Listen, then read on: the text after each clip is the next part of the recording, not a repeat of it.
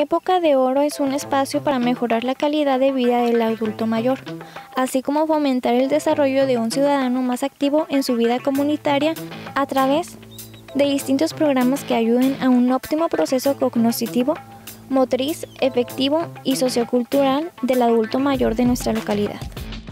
Hola amigos de Educación, estamos aquí en época de oro donde haremos algunas preguntas de interés para todos nosotros. ¿Cuál es tu nombre? Anabel Sapien, buenos días. ¿Cuál es tu cargo aquí en época de oro ACE? Soy la coordinadora de proyectos. ¿Cómo surgió la idea de fundar Época de Oro ACE? Bueno, esto surge a partir de este, un grupo de adultos mayores que se reunían los fines de semana, generalmente para eh, festejos de sus cumpleaños, eh, reunión de convivencia. Eh, estas personas pues posteriormente se, acercan a, la asegurada donde la licenciada Lina Portillo era la, directora. ellos que consiguiendo, queriendo conseguir este, se pudieran reunir en, sus instalaciones. Y así, y así se fue dando, eh, las reuniones eran en la asegurada. ¿Cuánto tiempo tiene operando esta institución? Sí, tiene 24 años aproximadamente este, que está la institución, así es. Como asociación civil es eh, a partir del, día dos, del año 2000. ¿Cuál es la misión de Época de Oro hace? Eh, nuestra misión es mejorar la calidad de vida del adulto mayor, así como incidir en la estrategia, en la construcción de un adulto más activo en su vida comunitaria a través de distintos proyectos de intervención comunitaria que ayuden a un óptimo desarrollo cognitivo, motriz, afectivo y sociocultural. Eh, hemos visto que hay adultos mayores que vienen de otros lugares, no nada más vienen los de esta localidad, ¿verdad? Así es, bueno, pues esto ha, este, ha sido un éxito, la verdad. Eh, invitemos con la misma promoción de los adultos mayores, han eh, invitado a familiares que, viven en el, este, aquí en el suroriente, como también allá en el centro. Este, son personas que, que, pues bueno, por medio de los mismos adultos mayores que se han estado invitando.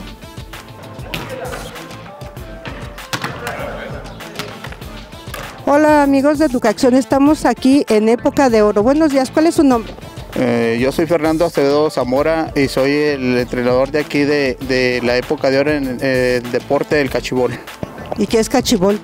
El cachibol es un deporte de bajo impacto que fue este, instituido por el Instituto Mexicano del Seguro Social en 1980 aproximadamente. Lo trajo porque se veía que la vida era muy corta, pero ahora se ha alargado más, entonces había muchos adultos que estaban este, pues sin hacer actividades y nada, entonces lo, incorporó el Instituto Mexicano de Seguro como un deporte y de ahí empezaron a hacer este, eventos deportivos tanto estatales como nacionales de los 60 años para arriba. Pero esto ya se ha hecho este, más grande y hay lugares donde se practica este deporte desde las escuelas y aquí lo estamos implementando aquí en la época de oro. Hay varios equipos eh, aparte en, la asegurada, en el Seguro Social y en el ISTE. ¿Cuáles son los horarios y los días en que practican? Aquí practicamos los, de, los martes y los jueves de 8 y media a 10 y media. ¿Tiene algún costo? Eh, el costo es de 50 pesos eh, la inscripción y 50 pesos por mes, pero con ese costo tiene acceso a todas las actividades que hay dentro de, aquí, de esta institución, de esta asociación civil. ¿Qué le podría a ustedes eh, recomendar al público que nos está viendo para que se animen y vengan y, y se este, inscriban? Pues que acudan a este, a este centro que es muy importante dejar de, estar inactivos y hacer alguna actividad. Es muy saludable mental y físicamente para todas las personas, no nomás para el adulto mayor, sino también para los jóvenes, las personas grandes. Este, la actividad eh, los va a hacer que se socialicen con otras gentes, conozcan otra, gente. Este, es muy importante este, convivir con los demás, no nomás estar ahí en la casa sin hacer nada, que no sacamos nada de provecho. Muchas gracias. Gracias a usted. Amigos de Educación, seguimos aquí en Época de Oro. Buenos días, ¿cuál es su nombre? Buenos días, mi nombre es María Juana Carmona Jiménez, tengo 83 años y estoy aquí. ¿Qué, es lo que está haciendo? La elefanta. ¿Y por qué le gusta venir aquí? Porque no me gusta estar en la casa, estar ahí que no hago nada y que no estoy sentada o algo. tengo que venir aquí. Aquí vengo, canto, chiflo, y hablo y todo, ya. Todo, estoy. Muchas gracias. A ustedes. ¿Cómo es su- ¿Cuál es su nombre? Mm, Mi nombre es Aide Escárcega. ¿Y en qué clase estamos? Eh, Estamos en la clase de manualidades para personas adultas mayores y también invitamos a los niños. Eh, en las vacaciones vienen muchos niños también aquí a hacer sus trabajos con sus papás. Cuando habla de manualidades, ¿es costura, pegar piezas? ¿De qué se trata las manualidades? Manualidades abarcan muchas cosas. Abarca el coser, abarca ah, el pintar, abarca el pegar, este, a veces el tejido. Aquí aprenden a coser, aprenden a pintar, a cortar el cabello, ¿verdad? Porque hacemos bonitas, hay que cortarles el cabello. Las manualidades abarca mucho, es todas las manualidades. ¿Cuáles son los días y en qué horario podemos venir? Ok, la, aquí este, en época de oro tenemos las manualidades, son los uh, martes y los jueves de 9 a 11 de la mañana. ¿Cuál es su nombre? Altagracia González Tavera, ¿Qué es lo que está haciendo? una abejita. A ver, enséñamela. ¿Y por qué le gusta venir? Ay, porque es, es un desahogo, un des- ¿cómo le quisiera decir? Un relajamiento. Así, mire, se le pasa uno el rato. Aquí se siente en su, su segunda casa. Al menos yo lo tomo así. De lo, de lo a gusto que estoy. Yo ya tengo cuatro años aquí. Qué bueno. Muchísimas gracias. Y invito a los que quieran venir. Ya saben, están a sus órdenes. Están las puertas abiertas. Muchas gracias. Ándele. Maestra, ¿qué le puede recomendar al público que nos está viendo para que se animen y vengan a estas clases? Ok, es lo que yo siempre le digo a las personas que vienen es de que, por ejemplo, las adultas mayores no se queden en sus casas, que vengan porque aquí se motivan. Aparte de que se motivan, aprenden, aprenden a mover sus manos. El coser les ayuda mucho a, a utilizar, a veces las tienen muy engarruñaditas, entonces eso les ayuda.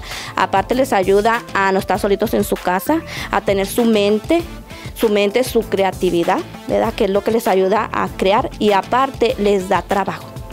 Muchas veces dicen que no, pues es que yo no puedo trabajar, pero en sus casas pueden trabajar haciendo todas estas manualidades. Hay alumnas que ya venden sus trabajos y eso es este, un ingreso para sus casas.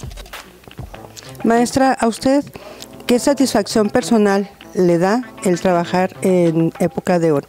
Mm, bueno, a mí las eh, personas adultas mayores, aunque muchas veces dicen uno, "Mm, es que cuentan cada ratito lo mismo, eso les ayuda mucho. Eh, a mí me han enseñado mucho. A mí me han enseñado mucho, me dan muchos ánimos porque las veo a ellas y digo, yo cuando sea grande quiero ser como ellas. Porque ellas tienen ganas de trabajar, de venir. Por ejemplo, tengo una alumna que, que no ve muy bien, aquí la tengo, ella trabajando. Entonces, ¿qué más motivación es esa para que vengan y se ayuden? Y para mí, pues es un orgullo que ellas salgan con sus trabajos y mira lo que hice, y mira qué bonito. Y más que lo vendan y obtengan un dinero. Esa es mi motivación a mí. ¿Cuál es su nombre? Edith Sosa Aguilar, ¿Y qué es lo que está haciendo? un conejito, una coneja. Ah, sí va a quedar. Ajá. ¿Por qué le gusta venir aquí? Ay, porque aprende uno muchas cosas y pues le sirve a uno Sí, ¿verdad? para relajarse uno. Y conocer a mí. Ajá, y conocer nueva gente. Muchas gracias. Maestra, las actividades, del resultado de estas actividades, las manualidades que hacen, ¿las venden? ¿Hacen alguna exposición? Sí, a veces tenemos exposiciones que se hacen aquí o nos invitan a diferentes lugares. Hemos ido a exponer también a, a plantas, a fábricas. Entonces ahí es donde se empieza a vender. Este, ya ellas ya las van conociendo, entonces ya les piden o simplemente ellas mismas para sus eventos en sus casas. Ahí es donde venden sus, sus productos. Nos invite cuando tenga alguna exposición. Claro que sí, yo no- aquí ha, ha habido varias. Entonces, claro que sí les vamos a hablar para que vengan y, y conozcan todo lo que se hace aquí y que aprendan y que vean que hay un ingreso para su casa. Muchas gracias, maestra, por habernos dado la oportunidad de poder demostrar las actividades que se hacen en época de oro. Gracias a ustedes por venir y ver lo que ellos hacen. Estas actividades que están haciendo, hay algunas adicionales.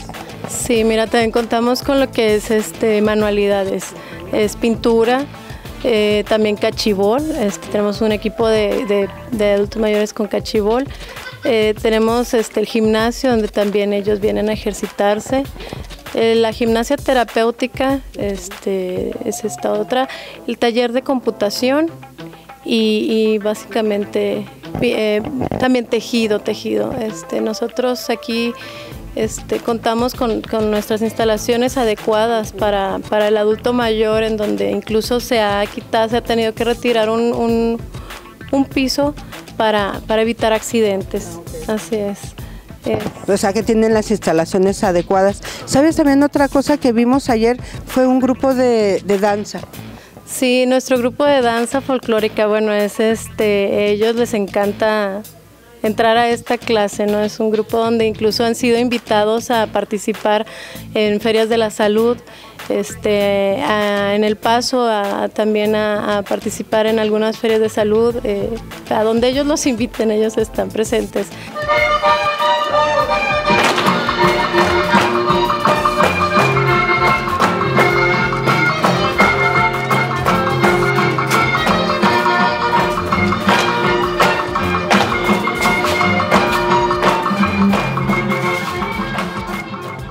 Este es el grupo?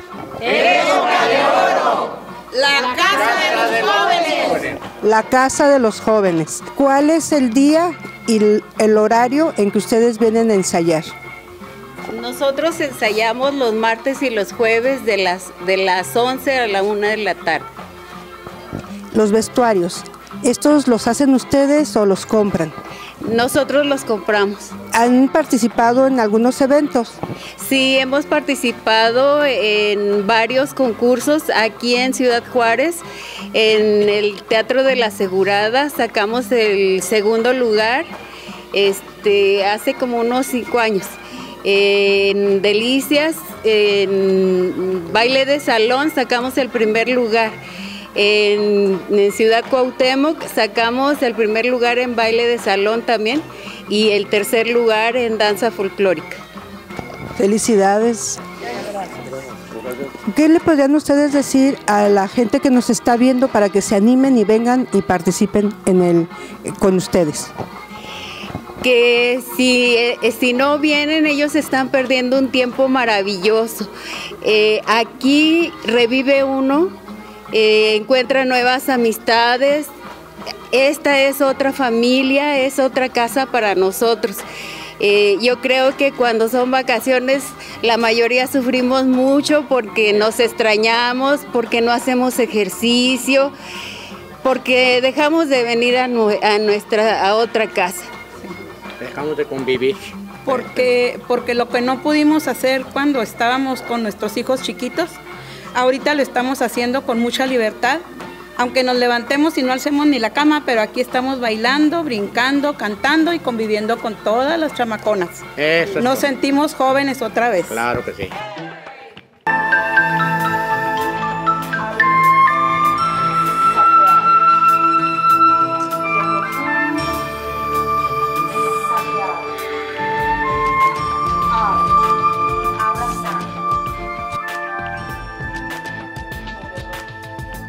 Hola amigos de Educación, estamos en época de oro maestra. ¿Cuál es su nombre?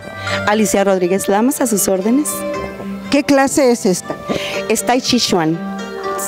¿Qué son los beneficios que se tienen al hacer, esta, eh, el Tai Chi?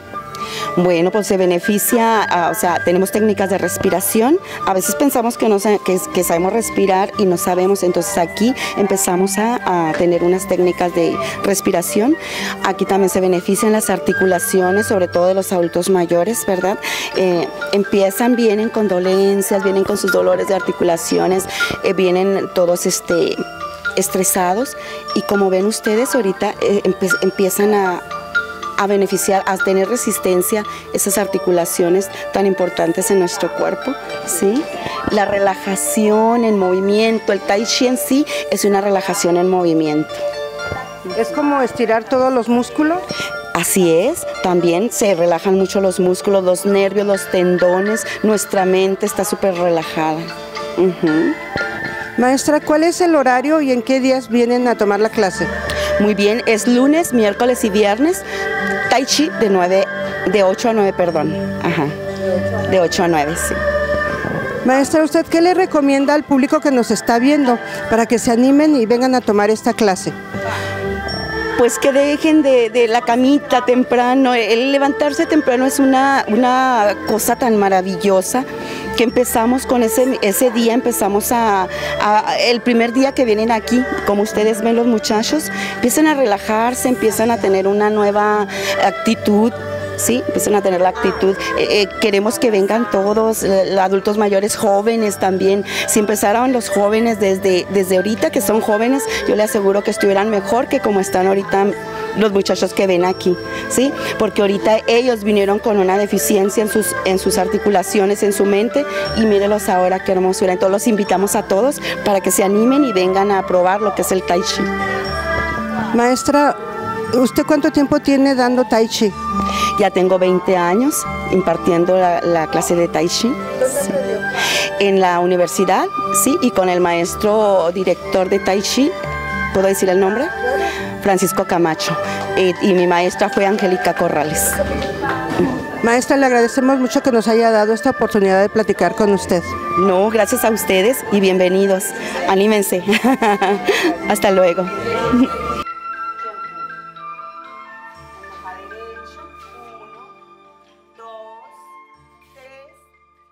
Si alguna vez pudiera saber que eres tú mi tormento, lo que tú me haces a mí ya no tiene perdón. Pues si te quiero besar, me envenenan tus besos. ¿Usted es cantante? No, no, cantante no, no es mi profesión, pero siempre he cantado. Siempre he cantado y, aquí es lo que hago más, cantar cuando hay oportunidad. Y a veces he ido a acompañarlas a ellas, por ejemplo, a Cuauhtémoc, a Chihuahua, también lugares donde obtuve un primer lugar en canto en, nuestra edad.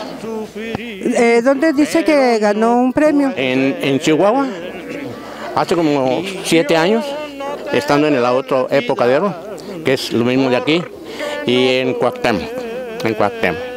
¿Usted qué le eh, recomendaría al público que nos está viendo para que vengan también aquí a Época de Oro?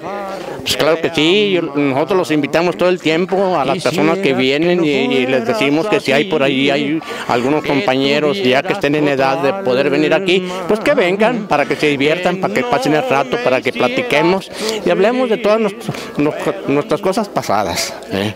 Eso es. Otra cosa que también vimos en estos días que hemos estado visitándolos es el entusiasmo que tienen, este lo sienten como su casa.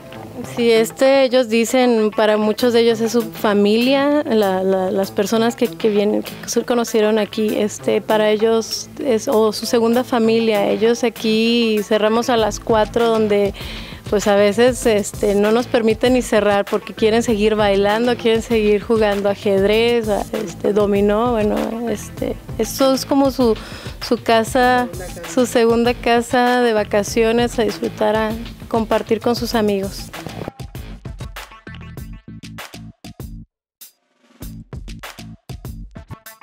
Maestro, ¿cuál es su nombre? Manuel Caldera, servidor. ¿Y cuál es la clase que usted imparte aquí? Eh, pintura. Pintura, pintura en acrílicos. ¿Me puede dar un poquito de información de qué es la pintura en acrílicos? Bueno, eh, básicamente es no es la pintura en aceite que muchos muchos en muchos talleres se da. Aquí no lo hacemos por el hecho de que pues es más económica, verdad, el, acrílico que el aceite. Además de que ya la tecnología en, en, cuestión de pinturas acrílicas ha cambiado mucho. Antes se creía que la pintura acrílica con el solo hecho de echarle agua se iba a borrar. Hoy no, ¿verdad? Los pigmentos con los que está hecho la pintura son muy resistentes aguantan, pueden aguantar inclusive en la intemperie más de 10 años y si se conservan guardados y marcados y con vidrio, pues pueden durar lo mismo que una pintura al óleo y inclusive hasta un poquito más. ¿Cómo se llama? María Luisa Holguín. Licha. Sí, esos son los que están terminados ya. Tengo este que es el que, que estoy apenas empezando. Pero me falta la mitad.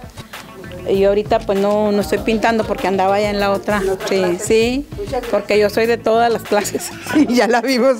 Qué bueno, ¿eh? Qué bueno, muchas gracias. Hola, ¿cómo te llamas? Alejandra. ¿Qué vas a hacer? Un león, digo, un tigre. Un tigre, ok. Gracias. ¿Cuál es su nombre? Eh, Amparo, Amparo Morales. Sí, gracias. Sí, tengo ya mis, mis cuadros. No más que ya los tengo en, la- en mi casa. Y a mis nietas les he hecho también sus pinturas de... Maestro, las actividades que usted está haciendo aquí, todos los materiales y cuando ya está terminado un cuadro, ¿qué hacen con él? Mire, este, lo guardan en el closet. Pero lo que, lo que mi, pro- mi, mi- mi propósito es, es, eh, es que, que ellas mismas lo vendan, ¿verdad? Para poder, para poder, eh, este, pues para que se ganen una feriecilla ahí, ¿verdad? Que no vean esto nada más como algo que ven y hacen en clase y ya se acabó. Que lo vean como algo que pueden sacarle una- un dinero para ellas mismas. Maestro, ¿usted cree que en Ciudad Juárez cada vez más gente le está gustando el arte como es la pintura? Híjole. este. Ah, es que hay- hay- ahí habría que definir arte, ¿no? Eh, y desgraciadamente hay, hay, hay falta mucha, nos falta muchísima cultura para verdaderamente eh, apreciar, eh, apreciar el arte. Yo veo que, que hay, yo he expuesto, yo como artista, he expuesto en, en- en varios lugares en conjunto con otros artistas y y, al, tratar de yo de vender mis cuadros como aquellos que están allá, me es a mí muy... No es mi propósito vender mis cuadros, mi propósito es hacer mis cuadros y a mí me gustan y a, otra gente les gustan y ya, ¿verdad? Pero me doy cuenta de que hay muchos cuadros artesanales que la gente lo va y los compra porque es el, clásico, la clásica flor, el clásico pues no por demeritar lo que ellas hacen, ¿verdad? El clásico, el clásico pueblito. Y, para un artista que se considera artista, pues es muy deprimente ver que se vende mejor los pueblitos y las montañitas que, el, el- arte de un artista, o sea, la expresividad de un artista. Entonces no creo que aquí en Juárez estemos muy acá. Eh, Además, en ese aspecto eh, es medio elitista eso. Sí se ha hecho mucha publicidad, pero es lo inflan y se desinfla. Entonces, es lo que, lo que veo yo, ¿verdad?